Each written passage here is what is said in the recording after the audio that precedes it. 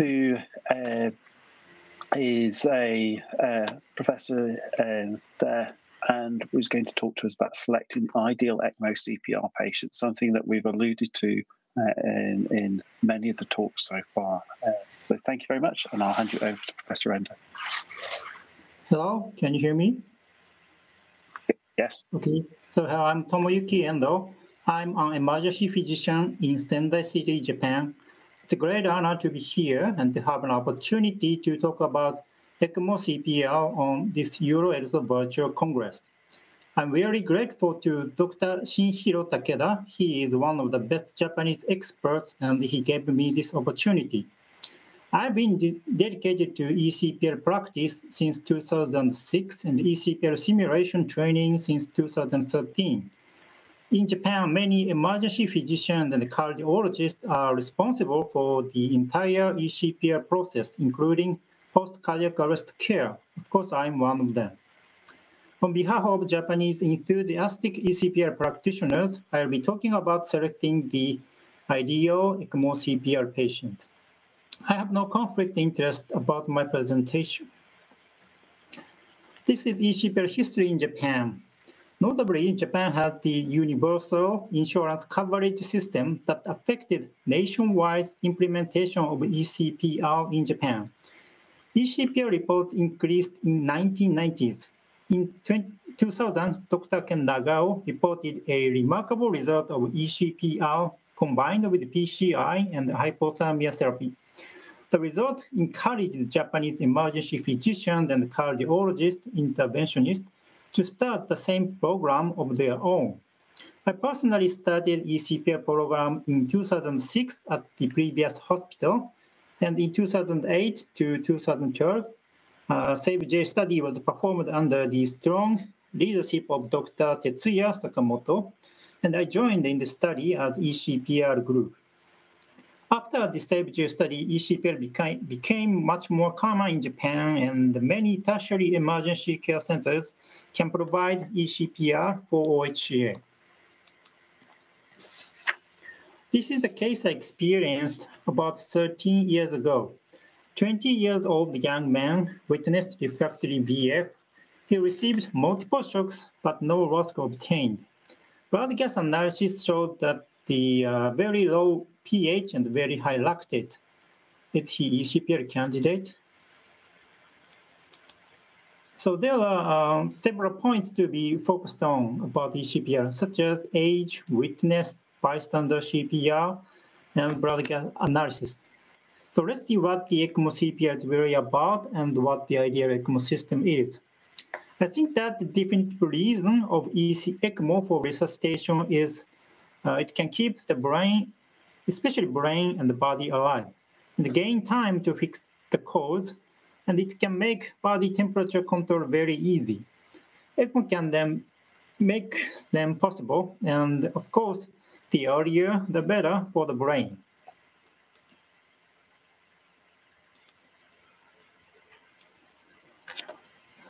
This is the overview of ECPR for OHCA. Usually in OHCA patients, we have much less information at first and need some time to be transported to ER or cath lab. We have to do ECPR under extremely uncertain possibility. But if the chain of survival is seamless and the every step is perfectly done, the patient's brain will be alive. There is no time to lose and every step should be organized. This is the overview of CPR for IHCA, basically the same flow as OHCA. MET or RRT activity should include the multidisciplinary eCPR system in the hospital.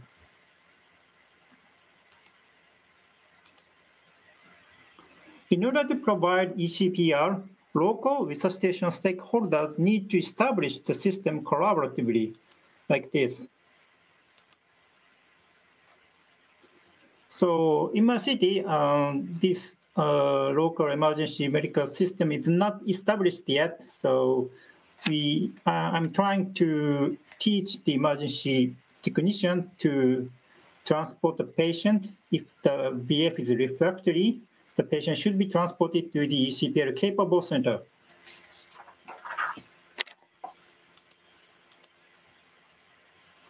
So let's look at the OHCA inclusion and exclusion criteria in major eCPR studies. Uh, the most of uh, today's speakers are uh, engaged in these studies. Wow. Uh, I think the, uh, oh, ah, yeah, thank you. Uh, the first of all, look at the SAVE-J study in Japan. The inclusion criteria is initial VFVT, age from 20 to 75, cardiac arrest on hospital arrival with or without the hospital ROSC within 45 minutes from the EMS call or the onset of cardiac arrest to the hospital arrival. No ROSC at least during the first 15 minutes after hospital arrival. This criteria means that the 60 minutes will be the upper limit from collapse to ECMO initiation. This is the CHEER trial in Australia. Also, initial VFVT, age from 18 to 65, cardiac etiology is suspected, collapse to CPR is less than 10 minutes, and mechanical CPR device are available, and cardiac arrest is persistent for 30 minutes. This is Paris SAMU uh, P hospital eCPR system. Patients should be witnessed age less than 70, collapse to CPR time less than equal 5 minutes. Signs of life during CPR are recognized such as pupillary reflex, spontaneous movement, spontaneous breathing, and unsuccessful ACLS more than 30 minutes. Maybe this is changed to 20 minutes now. So this is the arrest trial in Minnesota, Um, which is the first RCT ever about eCPR. Initial VFVT, age from 80 to 75. Now ROSC after three shocks, Lucas applicable body, and scene to ED arrival is less than equal 30 minutes. This is a ROCA trial in Michigan. Witness arrest or in initial VFVT, age from 18 to 70, non-traumatic etiology, predicted arrival time of eCPR capable hospital within time frame is specified. Persistent cardiac arrest. This is the Prague OHCA study. Uh, so age 18 to 65 witnessed cardiac cause, minimum five minute issues without sustained ROSC, and GCS under eight. And this is the study in Vienna. Uh, initial VFVT, age 80 to 75, witnessed cardiac cause, in immediate initiation of e CPR, no loss after 50 minutes of ACLS. This is the inception trial in Netherlands. Of course, initialism of VFVT or AED administered age 80 to 70 witnessed with bystander BLS and no ROSC. The last one is sub-30 trial in London. Dr. Simon is uh, leading this trial. I, I think that this study is aimed to elucidate the efficacy of very early ECMO CPR within 30 minutes from collapse. So patients should be witnessed age 18 to 65, collapse to CPR time less than three minutes. And the, let's look at the factors for eCPR eligibility. These are the critical factors to select ideal eCPR candidate.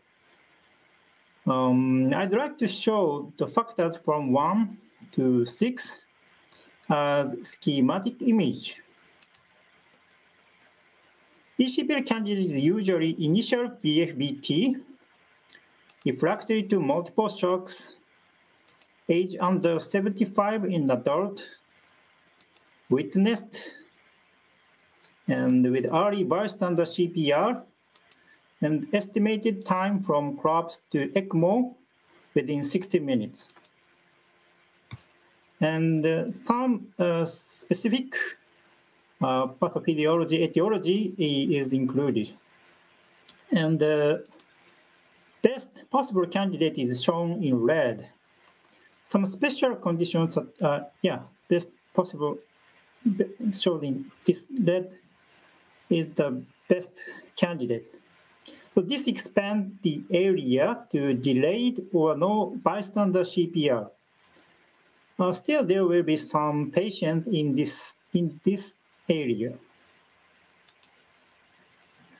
This expands to unwitnessed refractory VFVT patient.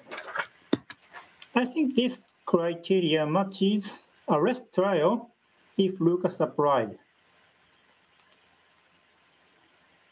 And then this expands even more to almost all refractory VFVT, irrespective of witness and bystander CPR. This is almost the same as the SAVE-J study. So let's think about the witness and early bystander CPR. this is the schematic image of the relationship between time and oxygen consumption. If the patient is witness but no CPR more than 15 minutes, that patient would lose coronary and cerebral oxygen reserve in the end. and finally, cause irreversible hypoxic brain injury. Survival is unlikely in this patient. If the patient is witnessed and get early bystander CPR, he or she can keep cerebral oxygen reserve at high level and survival is highly likely. I think cerebral regional saturation, RSO2, when used, used may be the surrogate marker of cerebral oxygen reserve. If the patient is witnessed but delayed bystander CPR more than three minutes, he or she loses cerebral oxygen reserve moderately, but still survival is likely.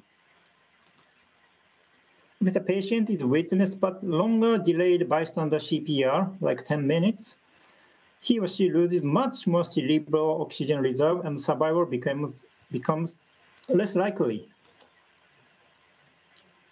If the patient is unwitnessed but get early detection and bystander CPR, he or she can keep cerebral oxygen reserve moderately and survival may be likely.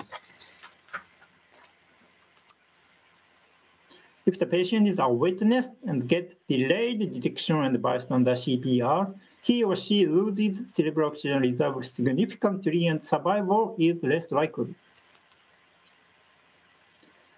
If the witness and the early bystander CPR is mandatory, that leads to less per patient included and get high survival rate and less actual survival number. On the other hand, if witness and early bystander CPR is not mandatory, that leads to more patients included, get less survival rate and more actual survival number. There is no answer yet. This issue should be discussed in the local eCPR system. This shows the limited effect of prolonged high-quality CPR for refractory VF. 30 minutes and 60 minutes of low flow time are the critical point to consider eCPR candidate. This shows, uh, this shows the final assessment before cannulation. You have to consider good outcome indicators such as signs of life, RSO2 if possible, and poor outcome indicators such as blood gas analysis and check contraindications by history, physical findings, and ultrasound findings. And lastly, obtain informed consent if possible. Going back to the first young man, he had both good indicator and bad indicator like high lactate. ECMO and hypothermia was performed and diagnosed idiopathic VF after neurological recovery, CPC1 and he walked away hospital after ICD implantation. Uh, if we widen the inclusion criteria, we will get lower survival rate. It may consume ECMO device and ICU resources. Patients of poor neurological, neurological outcome will increase and lead to loss of provider's motivation. On the other hand, it may increase organ donor. If we narrow the inclusion criteria, we will get higher survival rate. We may lose some viable patients to be rescued with ECMO. the number of candidates will decrease and the providers cannot get enough experience to be familiar with this process. Think about benefit of ECPR from the patient family's point of view. They are based on my personal experiences. Sudden death without any possible treatment could be the worst memory for the family, especially when the patient is young. ECPR gives them several hours to days to understand and accept what happened to their loved ones. Family members will appreciate the highly advanced therapy given to their loved ones. And if the patient has the will to donate organs, ECPR can be the bridge to the organ transplantation. Sorry. There are some other factors to influence ECPR health insurance system, maturity of local ECPR system. Minnesota is one of the greatest model we want to achieve, and priority of ECMO use VA or VB, especially in this COVID era. In summary, there is no definitive inclusion criteria of ECPR yet, Many factors should be considered in a very limited time to select the ideal ECMO patient, ECPR patient. To widen or narrow, the inclusion criteria may depend on the local ECPR system and available resources. ECPR may give family some time to understand and accept what happened to their loved one in terms of grief care. Thank you. Thank you very much. Uh, thank you for uh, that measured talk. Um, moving on, I think uh, I just remind everybody after the next talk, uh, we'll move into a discussion, uh, and I'd invite everybody to submit. Uh,